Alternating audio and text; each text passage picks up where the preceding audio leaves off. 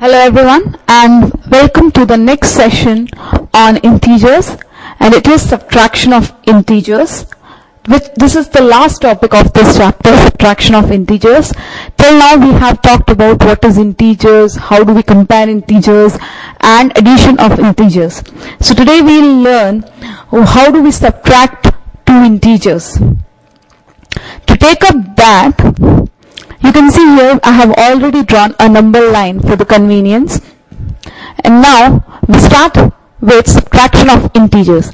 Let's start subtraction of integers with positive numbers first because they are easy to deal with because we are already familiar with it. So I have a number let's say 6 over here and I have to subtract 2 from that 6. So what am, am I going to do? I already know by subtraction definition that 6 minus 2 is 4. But let's go from the number line perspective that if I have to add something to a number, I have to go on to the right hand side of that number and add that number to it. And to subtract something from it, I have to go on a left hand side of the number line and subtract that number. So if I have to subtract 2 from 6, what I am supposed to do is, I am supposed to go two steps in the negative direction. So this is the step 1, I reach at 5 and this is step 2. So I reach at 4 to subtract 2 from the 6. So this was all about positive numbers. We have 6 and we have subtracted 2 from it and we got 4. Can I say that we have gone into which direction? Left hand side for subtraction. Okay, and we used to go, if it is 6 plus 2, it's 8. We used to go in the right hand side. Addition. So, you are already familiar with these things. Now, to subtract negative integers from a number, let's take an example. Let's say I have a number 6 and I want to subtract a negative 2 or minus 2 from 6. What am I supposed to do? We are already aware for a subtraction what we have to do? We have to go on the left hand side for the subtraction. But there is a catch here. And what is the catch here? The catch here is, let's say if I go into the negative direction. Okay. So, to subtract 2, I have to from uh, minus 2 from 6, I am going into this negative direction. But by definition, as it is negative 2, what I have to do is, I have to do what I was doing as an additive inverse. What I was doing for positive numbers. So let's take one example before we actually compute what is, what is this. There is a number 6. If I want to add a negative 2 to it, how am I going to? To add negative 2 to it, I am going into the left hand side. To add negative numbers, I go into the left hand side. So here to add negative 2 to 6, I'm going into the left hand side two times and I'm going getting the number 4. So I'm going here in left hand side. To add negative 2 to 6. This we already have studied. Now here you can see that whatever we are doing for addition, whichever direction we go for addition, the direction for subtraction is always the opposite. Now, here for addition of negative 2, we have gone into the left hand side direction. So, to compute this, 6 minus minus 2. That means to subtract minus 2 from the 6, what I have to do is, I have to go into the opposite direction of what I do for the positive thing. What I do for the addition. So here what I do is I go into the right hand side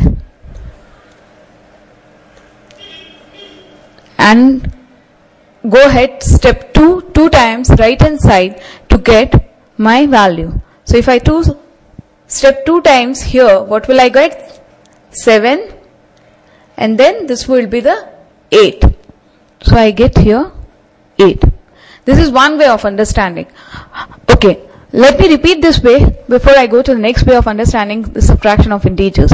What I am trying to do is, for adding negative 2, what I used to do is, I go into the left hand side and left hand side by that numbers. So if I have I had 6, I used to step 1, go to 5 and then 4.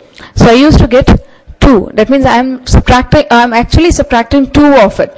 If you see here, 6 minus 2 is also 4 and 6 plus minus 2 is also equal to 4. So actually what I am doing is I am subtracting 2 or I am taking some uh, two values from 6 and I'm used, I'm, I'm getting 4 out of it.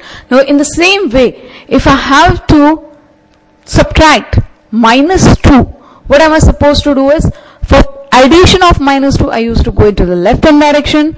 For subtraction of minus 2, I have to go into the right hand direction. So actually what I'm doing is I'm trying to add something. I'm adding minus, I'm actually adding 2 to it. So this gives me 8. Okay, let me, let me ask you uh, to understand this other simple way. Let's say we have got 6 chocolates. Okay, let me say you have got 6 chocolates.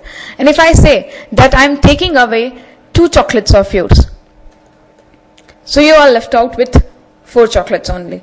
But if I say that I'm giving you two chocolates, I'm actually adding to your chocolates and you got eight chocolates. But when I say that I am giving you minus two chocolates, so when I say that I'm giving you minus two chocolates, what exactly I mean? Though I'm saying that I'm giving you something, but as it is a negative quantity, I'm actually taking from you. So if I say that I'm giving you minus two chocolates, that actually means I'm taking you two, taking away two chocolates from you, and that comes to the answer of four.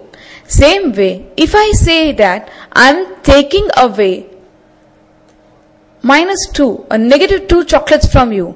So what am I exactly doing is, though I am saying that I am taking away minus 2 chocolates from you, but as it is already a negative number, what exactly I am doing is, I am giving you minus 2 chocolates, oh sorry, giving you 2 chocolates and that comes to 8. This can be understood in one more way, that additive inverse of minus 2 is what? Plus 2. So when I say that I am doing something like 6 minus 2 equal to, then exactly what I am doing is I am actually taking additive inverse of 2.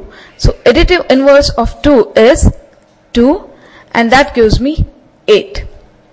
So this actually gives you the answer of addition. So in other words, if I want to tell, then negative numbers. If I add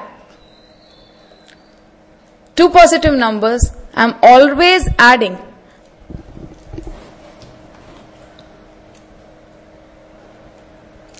So if I add two positive numbers I'm always doing an addition. And there is an increment in the positive value if I add two negative numbers, or sorry, if I uh, subtract one positive numbers from another, I'm doing a subtraction, I'm decreasing that quantity, decreasing. This is increasing,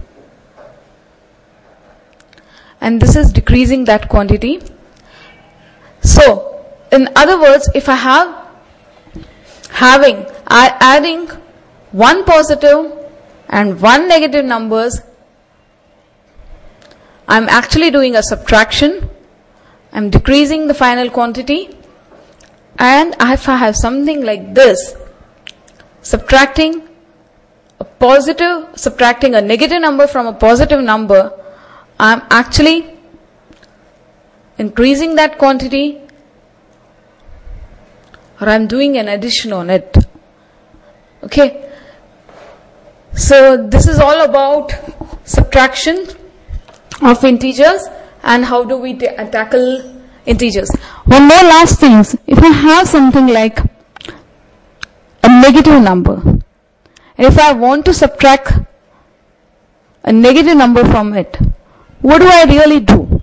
As you can say that minus of minus 2 is like additive inverse of negative 2, which I can say as minus 6 plus 2. So this actually turns out, to be a addition of one positive number and one negative number.